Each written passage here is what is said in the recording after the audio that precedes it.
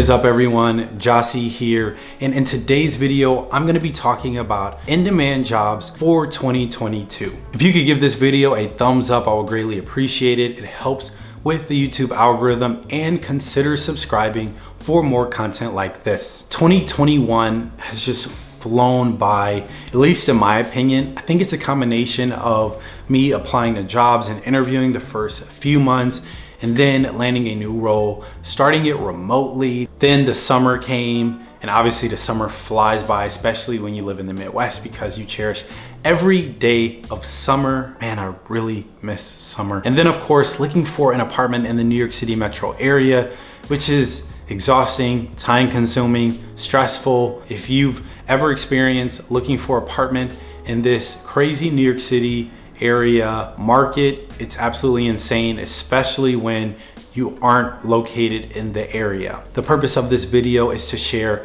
in-demand roles for 2022 and a lot of them have significant growth beyond 2022 all the way up to like 2030. I know it's the end of the year. A lot of you all have resolutions and goals that you want to crush. So I figured it makes sense to talk about jobs that you should pursue in 2022 because we don't want to start at the end of January. You want to figure out what you want to do for 2021 my bad, 2022, starting right now. I know some of you all are college students and some of you all are just looking to make a career change. I think this video is really for everyone. Yes, a lot of the roles are tech focused because I'm a software engineer. That's the industry I've been in, but some of them are tech adjacent in the digital space as well. Gartner predicts that IT spending will be four and a half trillion dollars in 2022, which is a five and a half percent growth compared to 2021. The reason being the pandemic, of course.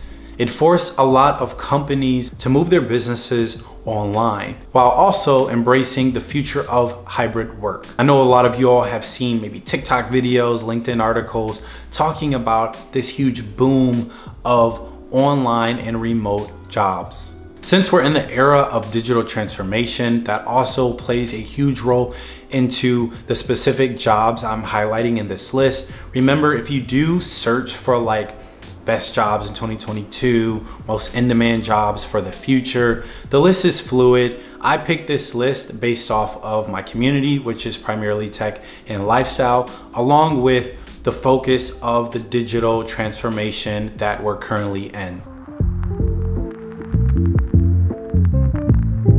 The first job that I want to talk about is cloud engineering. Cloud engineering have a whopping average salary of $123,000. Money, money, money, money. Cloud engineers are responsible for managing and organizing a cloud-based system and processes where data is stored. They set up a company's cloud-based architecture through cloud-based services like Azure and Amazon Web Services, Google Cloud. They also manage existing cloud-based services as well. One thing you'll notice with tech jobs is it's not always about creating something new, but a lot of times maintaining a product or service that already exists. Cloud-based engineers have experiences with cloud-based services, like I mentioned earlier, like Azure and AWS. They're also familiar with system operations and have an understanding of databases, programming, and networking. Recently, I've been drinking these AHA sparkling waters and they're really good. No sweeteners, no sodium. AHA is not sponsoring this video. I just figured I'd tell you guys what I've been drinking lately. The next job that I wanna talk about is data scientist. Data scientists have an average salary of $121,000. Data scientists are analytical data experts who have technical skill sets to gather and analyze large sets of structured and unstructured data and turn that data into meaningful insights basically making sense of the messy data from sources like smartphones, social media, emails, and other sets of data that can't easily fit into an Excel database. When I was a computer science major, I took a data mining course and it was one of the most difficult things I had ever done. So kudos to those of you all who are data scientists and pursuing that field. Y'all are real life Jimmy Neutrons. The growth rate for data scientists is 36% through 2026, which is incredibly strong. The skill sets that you need to be a data scientist are of course programming.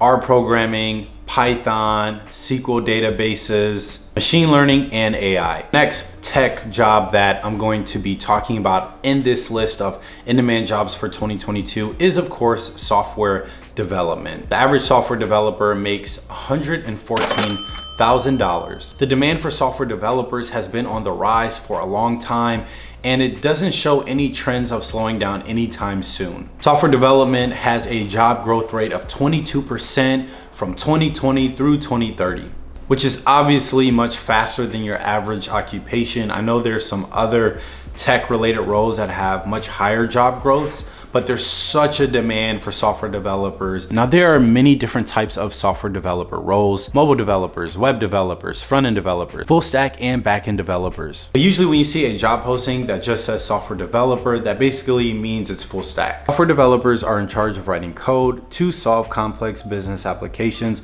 along with maintaining the code for an application. So software developers are also responsible for installing, designing, and testing software.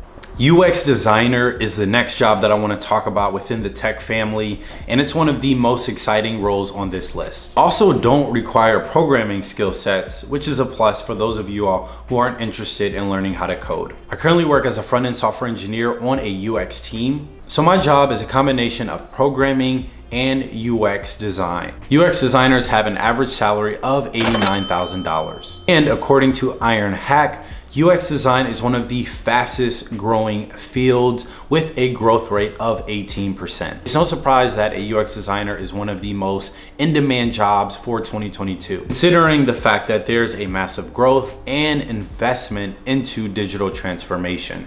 An ideal UX designer will have experience with Adobe Photoshop. That was the most popular application that the designers I worked with in my previous role used on a daily basis. You also should have some experience with Adobe Illustrator, Adobe XD if you're more product side, like actually designing websites or mobile applications, and of course Figma as well. If you learn Figma or XD, you'll be able to pretty much design on either or. Also the ability to enhance a user experience. Another really important thing when it comes to being a UX designer, similar to being a software developer, you wanna make sure that you have a portfolio of your work. The fourth in-demand job that has an average salary of $107,000 and is by far the most boring job on the list. Give it up for database manager. Marketing manager is the next job that I want to talk about and it is the first job on this list that isn't necessarily a tech role, but you can say it's tech adjacent. And the reason being is because more companies are creating departments where they have developers working with people in marketing, which only makes sense. Let's say you're running some sort of campaign for a company and you need a website built. Well, I think it's important that the marketing people who are running the end-to-end -end campaign are working with the developers who are actually building the website for this campaign. After working in digital marketing as a front-end software developer, I have an added respect for the marketing world. Branding is everything. Whether you're a TikTok or Instagram trainer, or if you're an insurance company trying to become the number one brand in America. Marketing managers have an average salary of $136,000 and have a projected growth of 10% between 2020 and 2030. Marketing managers monitor consumer trends and oversee all aspects of marketing plans for a specific product or service. As a marketing manager, it is expected to have skill sets that include business management skills, creative thinking, and problem solving. Social media manager is the last role on this list, and you can say it's tech adjacent because it is still centered around technology. Social media manager was recently listed on a LinkedIn article that was created not too long ago talking about some of the most in-demand and most posted jobs on LinkedIn. Social media managers have an average salary of $52,000. Marketing technology trends like AI, video, automation, and more continue to grow, which is one of the main reasons why social media managers and other digital title roles are some of the most posted jobs on LinkedIn. A social media manager is in charge of an organization's online presence, developing strategy, producing good content, analyzing data, and responsible for the end-to-end -end operations of brands' influencer marketing campaigns. Social media managers have an expected job growth of 10% through 2026, which is pretty good considering that this role didn't even exist before, you know, Twitter became a thing So that wraps up this video. I would greatly appreciate it if you could give it a thumbs up and share it with someone who you think might benefit from it. I really think this video is an important thing to make right now considering it's the end of the year and people are starting to feel confident and optimistic about their opportunities for 2022. It's also important to start looking for new roles and new jobs and doing research on what might be the best career for you at the end of the year, especially as you're reflecting on what you did this past year, I know some people are in roles that they may not particularly care for. So I think it's an important time to reflect on the positives and negatives of the career you're in or just where you are in life. So you can look forward to pursuing opportunities that actually align with your goals and aspirations. As always, have a blessed rest of your week. Happy holidays to you all if I don't see you before the new year or before Christmas. And as always, have a blessed rest of your week. I'll see you all soon. Peace.